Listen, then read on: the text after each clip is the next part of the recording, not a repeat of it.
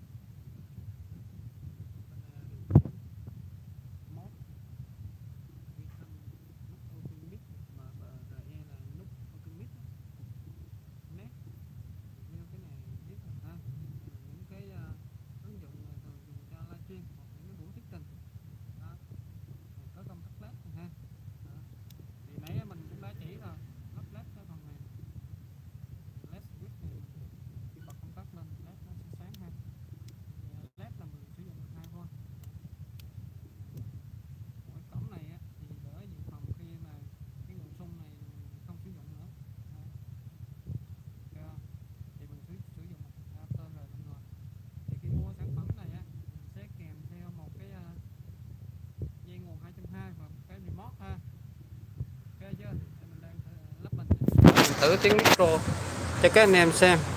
Ca nó tốt hay không ha?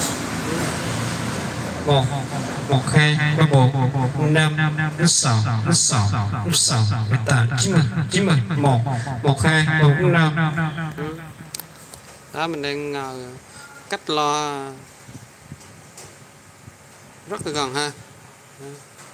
Nửa mét chưa tới nửa mét một một hai ba bốn năm sáu sáu sáu đó mình thử dí cái mic đó. Đây đây mình đang đỡ cái cái von cái mic. Đây cái âm lượng mic nè mức cao nhất nè. Mức cao nhất là mức 9 mình đỡ mức 8 là vừa. Đó. đẩy mic von lên cao luôn nè. Như vậy mình mới kiểm chứng được cái độ chống hú. À. thì cái âm thanh phát ra khi có thuộc, thuộc toán chống hú là nó kêu re re đó. Đó nó không nó bảo vệ được cái lo chép của mình. Nó không bị hư ha mạch không bị hư. Ừ. một hai hai hai thì cái tiếng ca mà dạng lập trình đó, nó mềm lắm ha nó mềm. Quan trọng là nó trong nó trong trẻo như thế này ca nó mới hay được. Đó thì mình chỉnh cái cô giảm xuống thì nó ra tiếng dúng tiếng reverb luôn gần giống tiếng reverb một một, hai, có một, năm, thứ sáu thứ sáu thứ sáu. Một một hai một một một thứ sáu thứ sáu thứ sáu. Cơ ừ. tiếng như vậy là, cái micro như vậy mình ca nó mới hay được ha. Ừ. Đó. ca nó mới hay được. Còn ờ, mà nó không có ra trong mềm như thế là ca không có được. Ca nó, âm thanh nó sẽ không hay đâu ha. Đây mình thử nhạc nhanh thôi ha.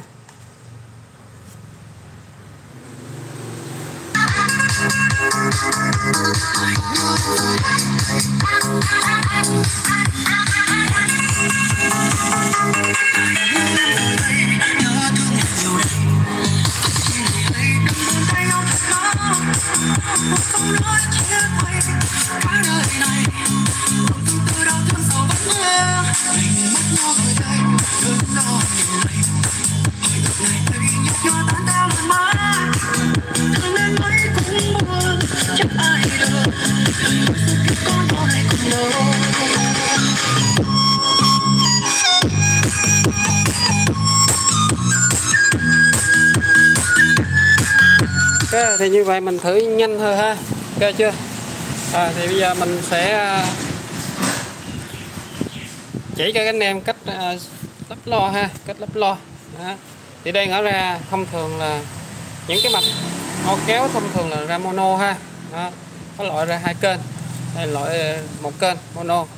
Thì mono nhưng mà mình có thể là lắp lo đơn hoặc lo đôi đều được hết ha. Nếu lo đơn thì mình lắp ờ, lo ba tấc bốn tấc ha. Đây mình đang lắp lo ba tấc này ba đường tiếng này ha.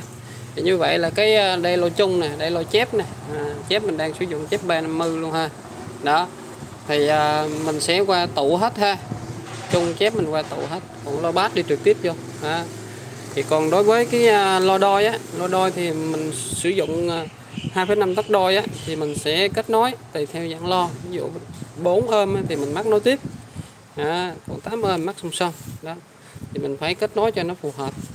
Thì mình không đảm bảo là nó không có sợ hư ha. Đây. thì đối với dạng lập trình thì uh, thực ra cái ngõ ra lo nó cũng đã lập trình bảo vệ rồi à, lập trình bảo vệ rồi. rồi tuy nhiên mình không có được chủ quan để dây lo nó chạm chạp lại với nhau ha à, chạm chạp thì nó sẽ ngắt bảo vệ ngay lập tức à. rồi ngay cả là cấp ngược bình nó cũng bảo vệ luôn không có bị sợ hư luôn à. bảo vệ hết ừ. quan trọng là không được cấp áp cao ví dụ như ờ, bình 12V mình cấp lên bình 24V thì nó sẽ nổ tụ ngay tức thì à.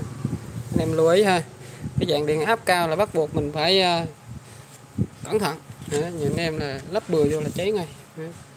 thì nó sẽ nổ tụ á ừ, rất nhiều trường hợp anh em bị như thế ừ, thì đối mẫu mạch này nó gọn gọn nhỏ gọn mà đánh rất là uy lực và âm thanh cực kỳ hay thì anh em nào mà có điều kiện thì ghé bên mình mình sẽ test tại chỗ các anh em xem. Thành nó cực kỳ chất lượng. Còn qua video thì mình chỉ đa phần chỉ giới thiệu cho các anh em thôi. Vì những cái tính năng của nó thôi. Ok kết thúc video này